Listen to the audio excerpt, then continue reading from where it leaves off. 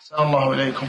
سائل لم يذكر اسمه ولم يرمز له يقول وقعه بعبارة الفقير إلى الله تعالى يقول طفت طواف العمرة سبعة أشواط فشككت فيه فزدت شوطا واحدا ثم سعيت سعي العمرة فشككت فيه فزدت شوطين ثم طفت طواف الحج سبعة أشواط فشككت فيه فزدت واحدا وسعيت للحج فشككت فيه فزدت شوطين. فهل عملي هذا صحيح؟ وبماذا توجهونني؟ جزاكم الله خيرا.